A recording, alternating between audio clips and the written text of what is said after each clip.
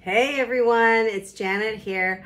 I have a great little kitchen tip for you that is kind of a reuse kind of tip and it is about your plants. So every morning I boil eggs.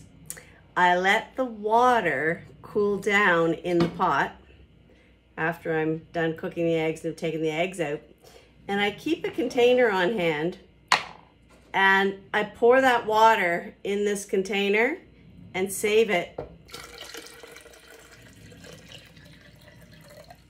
to feed my plants.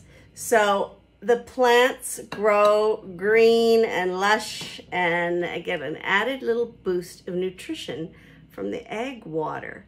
So I was taught that tip a few years back and it has made a difference. So reusing your water from your boiled eggs, collecting it up using just the same container each time has been a big success. So maybe you might try that too. What are your tips for keeping your plants healthy and giving them nutrition?